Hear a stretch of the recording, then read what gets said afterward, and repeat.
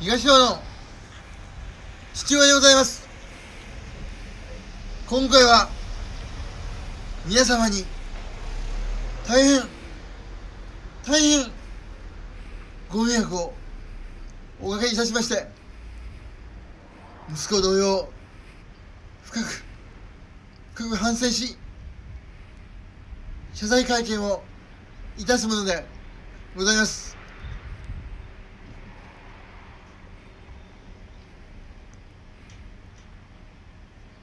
幼い頃は素直に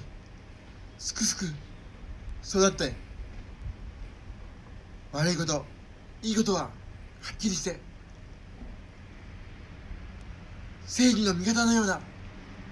子供でした。いつの間にかいつの間にかこんな風に育っていたとは近くにいる私ども家族が見過ごしてしまったということに対して責任を感じております。もっと相談に乗ってやればよかった。もっと父親らしいことをしてやればよかったと。後悔はするけどできなかった。私の力のなさに深い悲しみを感じております。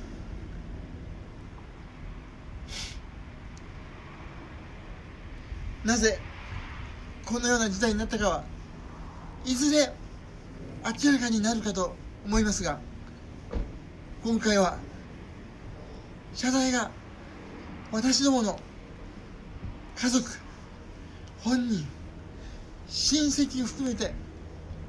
深く反省するものでございます。昔話をしても価値がありません。今現在がどのようにこの子は生きているのかどのような生活をしているのか皆様にどのように愛されているのかこれが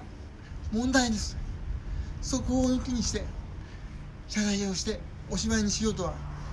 全く思っておりません。これから私たち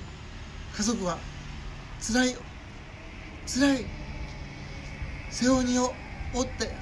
負って歩かなければならならないような時代になっております。東でお前な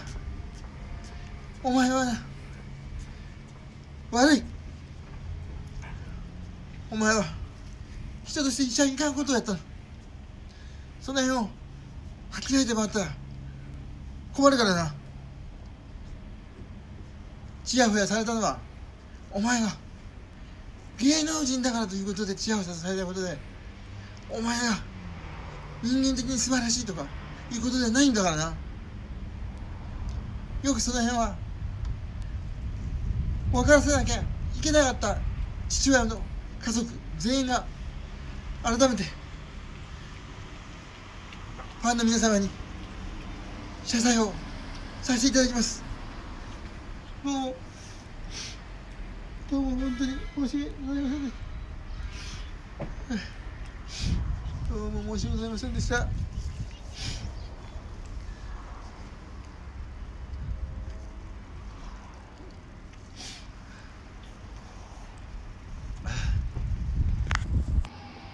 東大学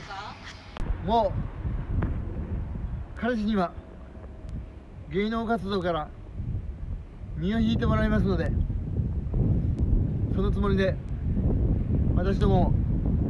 対応しております。今回は対応してその後また改めて考えようと思っております。残念なことではございますがこれは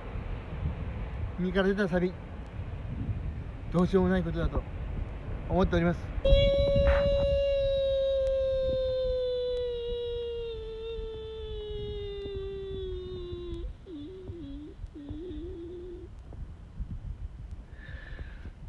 皆さん本当に今回は申し訳ございませんでした。